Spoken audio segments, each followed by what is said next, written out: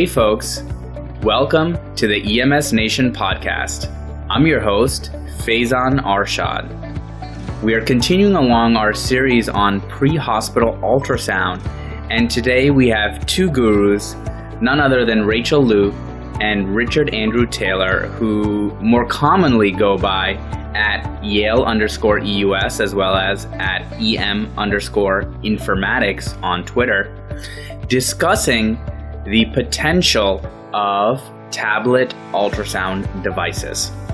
So, this is something we've seen with all technology smaller, more potent, longer battery life, highly portable. And ultrasound is no exception to that general trend in technology development.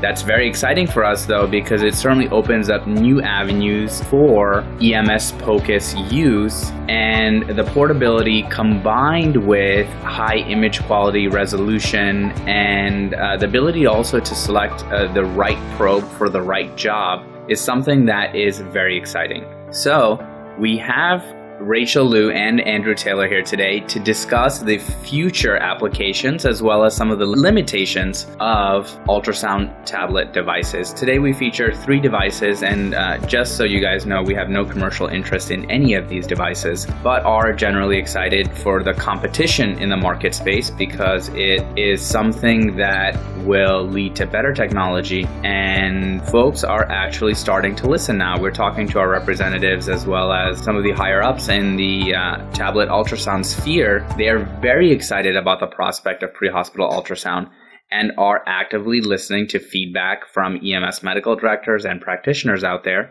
on how to optimize the device for our needs. So, translating from the old school radiology ultrasounds to the slightly more portable uh, emergency department ultrasounds to now the new sphere of tablet ultrasonography. This is very exciting, so stand by and hope you enjoy this one from Rachel Liu and Andrew Taylor. I'm Rachel Liu, and this is Andrew Taylor. Um, we're both from Yale uh, Department of Emergency Medicine, and we both um, are faculty with our emergency ultrasound section.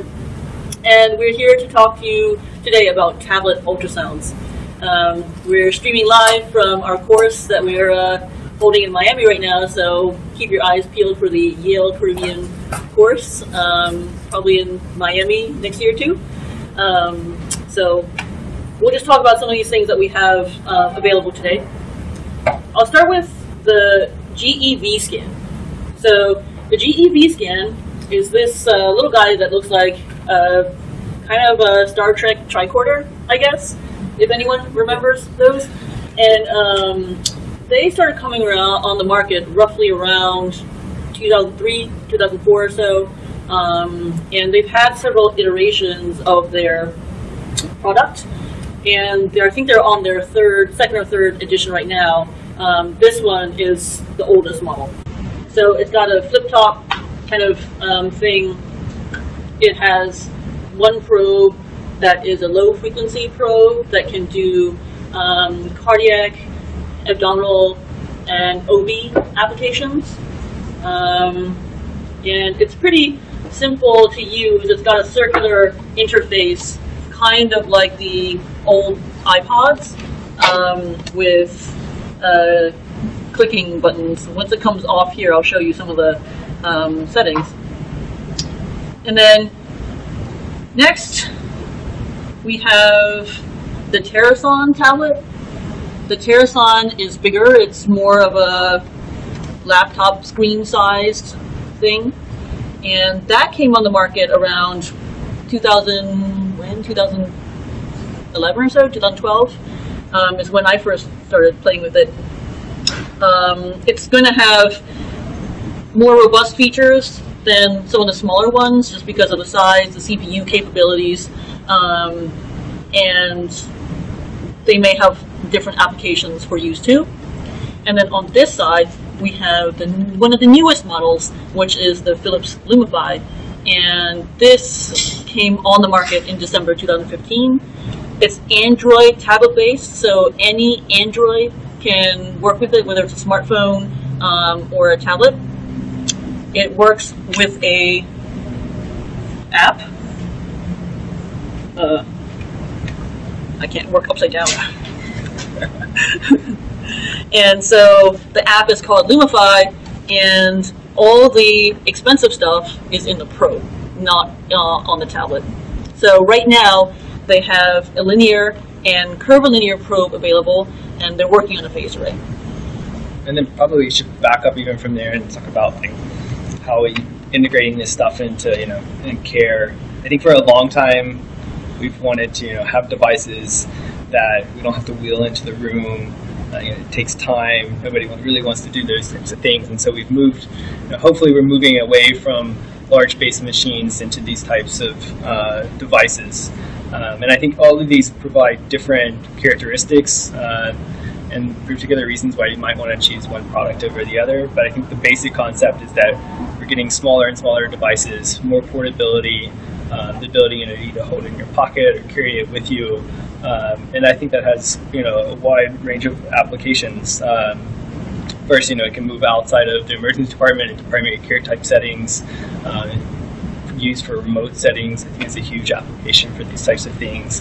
Um, and then you, even you know EMS settings, uh, pre-hospital care, uh, moving those things, allowing you know, people in the EMS world to be able to, to do these things uh, can be incredibly helpful.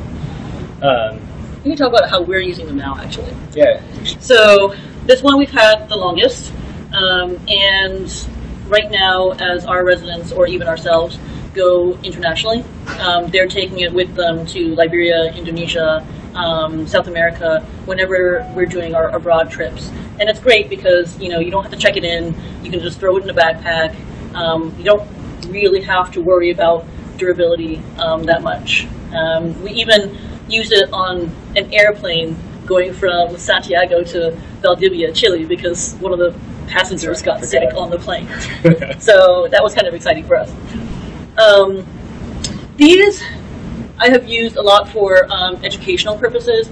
So it kind of depends on what your setting has. We have cart-based machines, so we don't necessarily need our own personal ones of these. But I love that I can just throw it into a backpack, take it to me when I'm teaching on a ward, um, or you know, going to a hospice kind of clinic, um, some sort of non-hospital setting um, to use them with. And I've used it a lot for um, teaching courses and, and education purposes. And we have that same device on our physician response vehicle. So for EMS programs that deploy uh, physicians in the field, I think that's an excellent option. And that also has a USB capability, so we in fact able to connect a video laryngoscope, power that, and record all the images because it's a computer with a CPU as well. And One then of the, um, helicopter EMS systems are also using it in critical care transport. Yeah, so one of the coolest things I saw last year at uh, WINFOCUS 2015 that was in Boston was Luca Neri, who is an Italian physician who has a Terason. It's Windows based, and he was able to build a program that um, did teleultrasound. Hmm. So he was able to split a computer screen into four, have a camera um, on the ambulance so that they could see what the ambulance kind of uh, environment was, how the patient was, like how the patient looked in a car crash or whatever it is.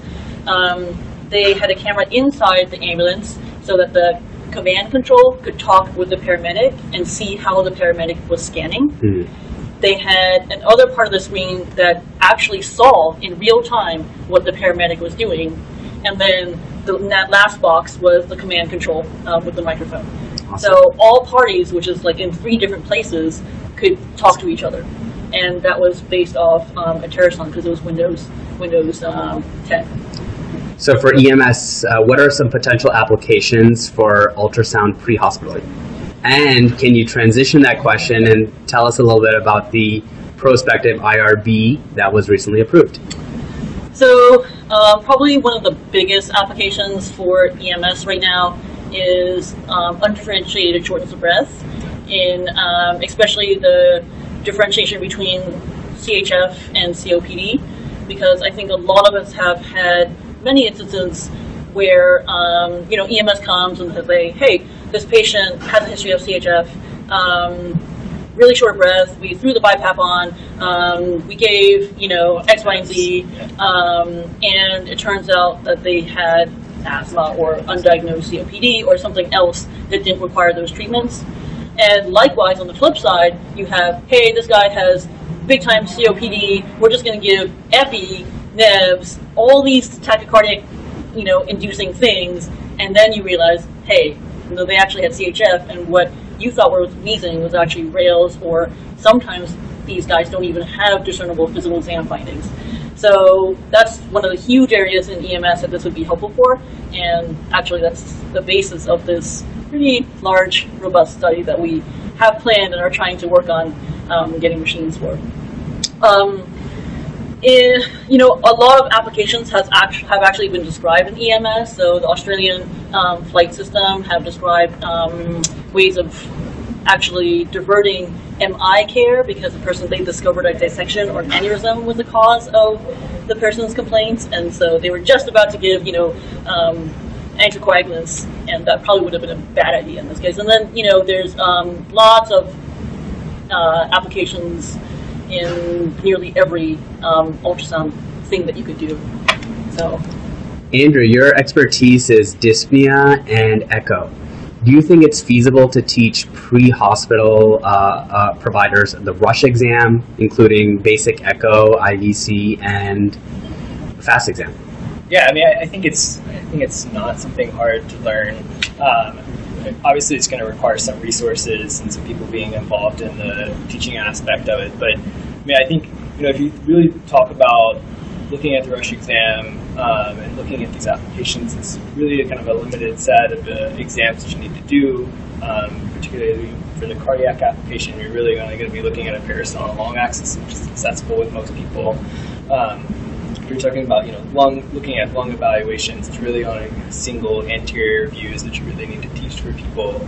So I don't, you know, I don't think we're asking a lot, and I think those things can be easily taught probably in, in a day session uh, for most people. So I think it's you can easily apply that to, to a lot of uh, you know potential pre pre kind of paramedic uh, settings, um, and then go from. And uh, just to plant the seeds with folks who are watching on Periscope, Andrew, your lecture on dyspnea, we're going to live stream tomorrow. Yeah. yeah. So Friday, stay tuned for that. Yeah, and Rachel, your lecture uh, using ultrasound in critical care settings and the five E's of echo, we're also going to live stream tomorrow too. okay, Awesome. great. Great. What are some of the limitations of tablet ultrasound devices?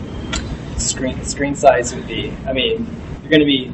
So I think we're all used to larger screen sizes now and be able to pick out small things. Um, you know, I can see some limitations with if you're going to do soft tissue evaluation. Sometimes it can be particularly hard to pick up abscesses and differentiate that from just examples of cellulitis. Um, so I, I mean, I think that's a, a clear uh, disadvantage for all of these things. Um, I, I think you're going to have probably some problems with image quality, but they're getting better and better and better and better. Um, we've definitely seen that over the time period. Um, and then I think from the average practitioner, probably cost is, is probably the, a major limitation just in adoption. So if you're you know, talking about widespread adoption of these technologies and having every primary care doctor have this and having you know, lots of pre free uh, hospital care, uh, people having these on board. Um, I think the cost is gonna gotta come down. Uh, right now they're still pretty expensive. So um, this one's the newest one um, that has come out. Um, uh, I also have to mention that Sonosite also have their version called the iViz, which we unfortunately don't have um, here today. But the image quality for this is actually quite good. I can scan my arm in a second, but um, the benefits of doing something like tablet ultrasound is, you know, you can have the touchscreen capabilities that um, you know any tablet has now, which a lot of the younger generation um, is used to, and really the the image quality is very good. Um, limitations are limitations of the tablet, not necessarily the ultrasound, you know, software. So, for instance, things like big time sun or hospital lighting can cause a glare, like how you can't, you know, read an iPad on the beach. Probably the same kind of thing applies, um, despite matting. Um, uh, what do you call those screen protectors? And so, let me just kind of show you um, how good it's gotten. Oh, this way they can. All right. Let me know if I'm blocking this, okay? and let me you can you can tell me what I need to do with my like. Can you see? Yeah. So this literally is just my wrist, and I'm going up and down. And if I could, you know, these things have the capa- capability to do color flow, Doppler. I'm unfortunately using both my hands, so I can't do it right now. But um, you know, you can find my radial artery. I can easily do a nerve block. Um, yeah, go, go ahead and do whatever you need to, because I can't see. Um, with something like this, and you know, if you had this on the patient's bedside, that takes up a very small footprint. hmm You know, more beneficial for us instead of having to work around the cart. Um, got it. Okay. Yeah, because I was messing around with it. And um, now this might not be the most robust thing on earth. You know, it's, it's got two color flow Doppler settings, a high speed one and a low flow one. But you know, with these things, what are you really looking for? We're looking for things that can um, be pretty quick. So I don't need all that robustness for this. Yeah, I definitely think these are moving. It's moving ultrasound into really a, like a physical exam. So we, you know, starting to really think about ultrasound as that component of the physical exam and doing these like on every evaluation. We had know, somebody ask about even evaluation for like pyelonephritis and flank pain. Um, how often would you look and see that they don't have an obstructed stone if they, you know, otherwise aren't really presenting with you know symptoms of renal colic? And I think you know when you have these tablet type devices, um, the barriers to doing the ultrasound are reduced, or if not, you know, eliminated. Um, I think that's a huge advantage. It's just doing more ultrasound. And then if you finish looking at this one, we can show what it looks like on the Terason. Sure. Okay, so here's the same thing. So my radial artery is up on top. And yeah, you can see a little bit um, better because of the bigger screen. And it's hard to capture on that thing because you, you know, you have to get nice, close and personal here.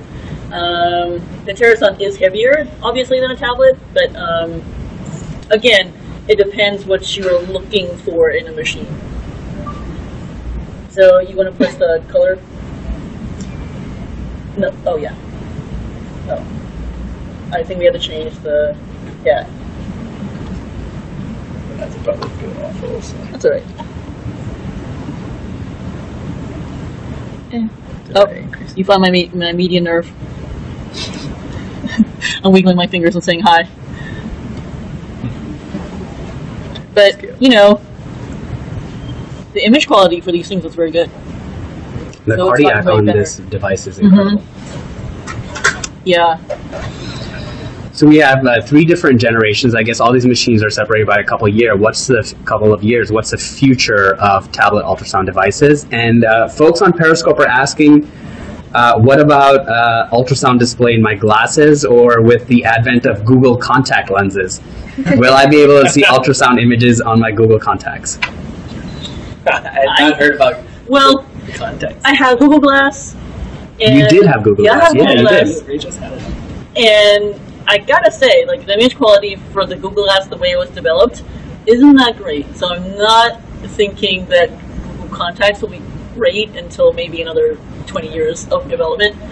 But um, I, I definitely think that's the way people want to go though in the future is they don't even want to have to carry around even a small based tablet having some kind of visualization uh, system that's you know already there um, and just have the probe itself and nothing else uh, you know wirelessly communicates I think that's where we're headed and I think a lot of other mediums and IT stuff will be delivered that way too I think we're going to have you know, medical records and stuff that are going to come through these devices so it seems like a natural marriage between those two things. Um, you're you know able to see stuff. Plus, being that being close to your eye, you know the resolution and everything can be greatly enhanced, and your ability to see a, a larger picture will uh, be improved that way.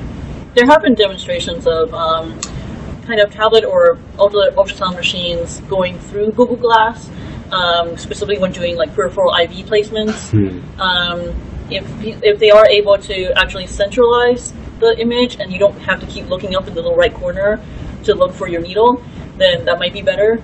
Um, Google Contacts might be interesting, although it'd be weird seeing like image in one eye and then you know, I think it would throw your depth perception off. That's true. But um, like future directions, definitely we need more in EMS. Um, having something like this mounted to inside an ambulance um, would be kind of awesome.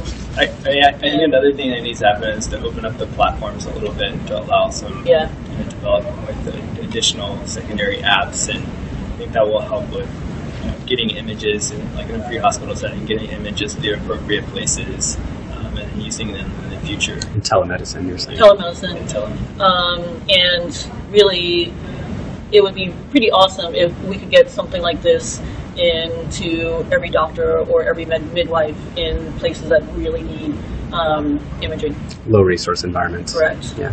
So, I mean, with these, it might be possible. The, the price point's coming down, and um, the world needs that right now. Great. Well, thanks so much for your time, guys. I think uh, that was fantastic. Where can folks find you guys on Twitter? At Yale underscore EUS. It's Dr. Rachel Liu, and then um, I'm at uh, EM He's going to do a personal Informatics plug. EM underscore underscore informatics. That's Dr. Andrew Taylor. And last but not least, people are loving this. Can you tell them a little bit about the Yale ultrasound course and where they can next catch us in Newport, Rhode Island?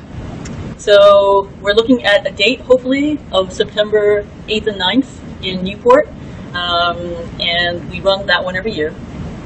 Um, hopefully, this one continues to in some nice sunny place like Miami. So hopefully, that's planned next year too. And uh, yeah, look for us on the web at eus.yale.edu because that's where you'll find all our course information. Perfect. All right. Thanks, guys. Thanks. Thank you guys so much for listening to episode number 13 on the introduction to tablet ultrasound devices. We would love to hear your opinion and thoughts on whether you think this tech, with its increased portability, has potential future applications in your clinical practice. Please tweet us at EMS underscore nation and find us on Facebook at www.facebook.com backslash pre-hospital nation. This is Faizan Arshad wishing everyone a very safe tour.